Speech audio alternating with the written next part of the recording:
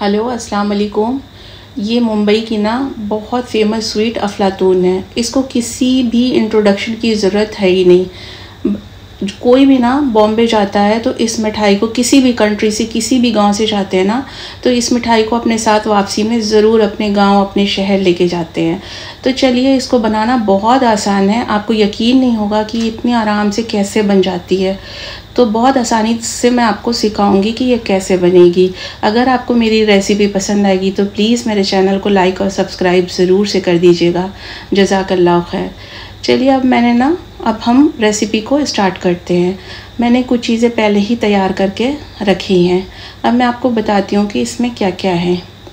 तो सबसे पहले देखिए, ये एक कप मावा है। मावा बोले तो खोया, एक कप फुल है और एक चम्मच इलायची पाउडर है। हाफ़ कप जो है इसमें देसी घी है और हाफ़ कप जो है शुगर है, हाफ़ कप सूजी है और एक कप फुल जो है ये मिल्क पाउडर है।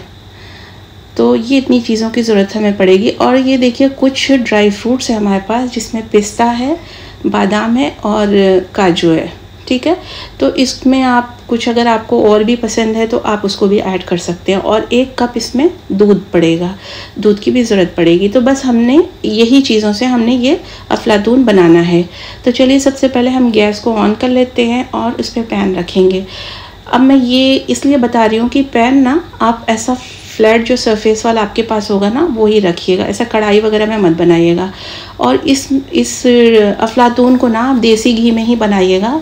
कोई रिफाइंड, डालडा वगैरह मत यूज़ करिएगा। बट अगर कुछ है तो आप कर सकते हैं, बट देसी घी में जो मज़ा आता है ना, वो किसी में नहीं आता। अब देखिए, घी मेरा गर्म हो गया तो उसमें मैंने पहले सूजी डाली है।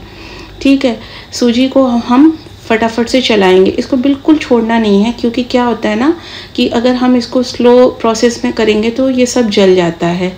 तो इसको बहुत फास्ट फास्ट करना है। तो सूजी को हम कम से कम ना ऐसे पाँच मिनट तक मतलब एकदम फटाफट से ऐसा चलाते हुए इसको पकाएँगे।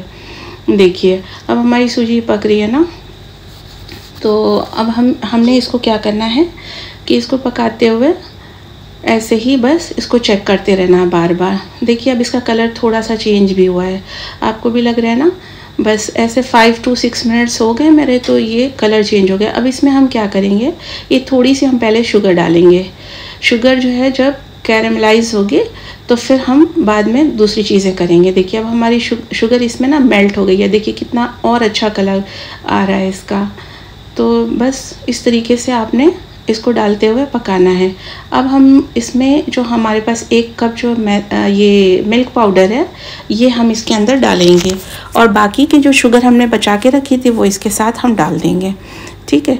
तो अब हम इसको भी फटाफट से चलाएँगे, क्योंकि अगर हम इसको थोड़ा छोड़ के चलाएँगे ना तो अभी क्योंकि हमारा चूल्हा भी जल रहा है तो नीचे सूजी भी जल जाएगी, और इसमें भी गुटलियाँ बनना चालू हो जाएँगी।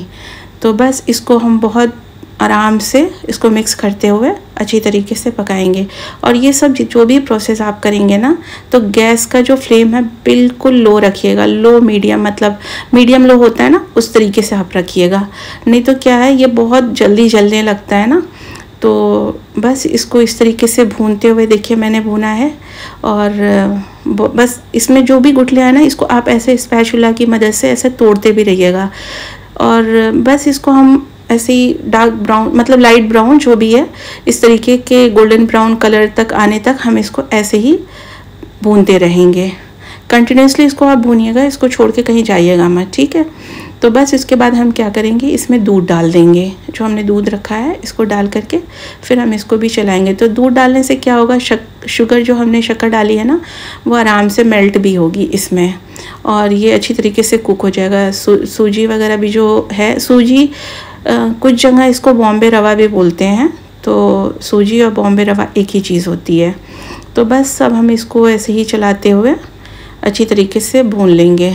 देखिए, कितना अच्छा सा कलर आ गया ना। अब हम इसमें क्या करेंगे, जो हमने ड्राई फ्रूट कट करके रखा है, ये थोड़ा थोड़ा इसमें डाल देंगे।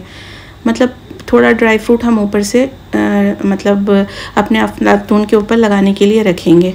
और थोड़ा इसमें डाल करके अच्छी तरीके से इसको भूनेंगे ताकि ड्राई फ्रूट जो है ना इसके अंदर जाके पक जाए। इस मिठाई को ना बना के आराम से पंद्रह बीस दिन पच्चीस दिन तक भी रख सकते हैं। ये जल्दी ख़राब भी नहीं होती है।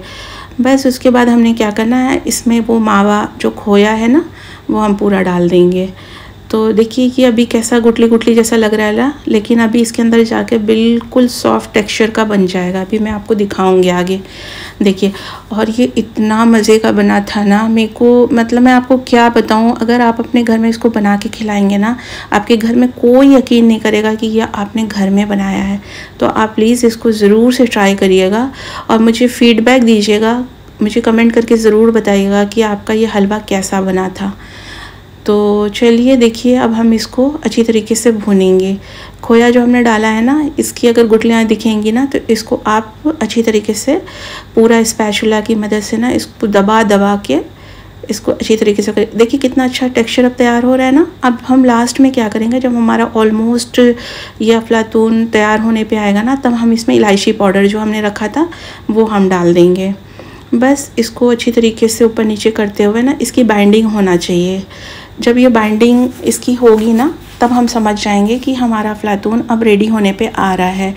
तो बस इसको बहुत जल्दी जल्दी चलाते हुए इसको पकाना है। और इसकी जो भी मतलब इसका जो भी रेशो है ना, मैं आपको डिस्क्रिप्शन बॉक्स में सही से डाल दूँगी। अगर आपने बनाना है ना तो आप वहाँ से आराम से देख सकते हैं। तो देखिए, अब हमारा जो है अफलातून का मिक्सचर है ना, ये ऑलमोस्ट तैयार हो गया है।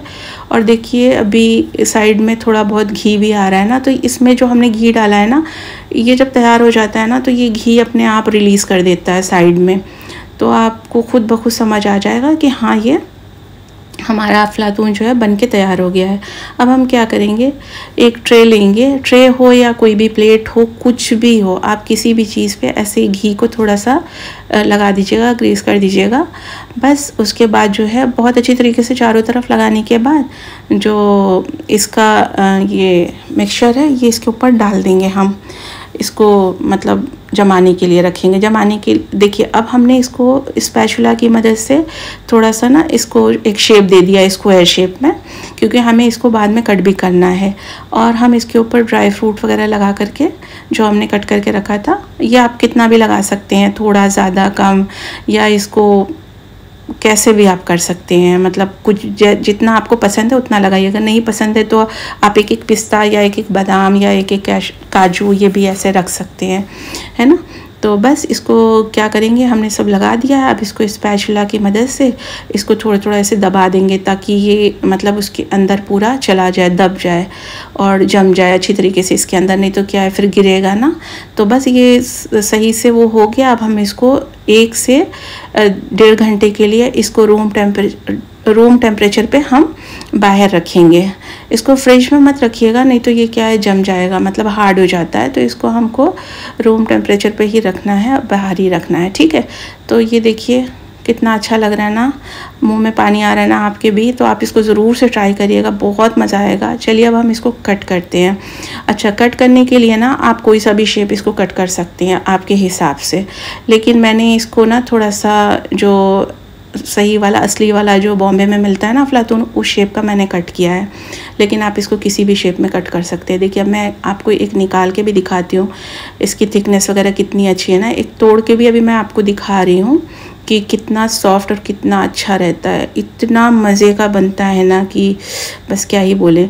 चलिए, आपको उम्मीद है कि मेरी ये रेसिपी पसंद आई होगी। दुआओं में याद रखिएगा। अल्लाह हाफिज़।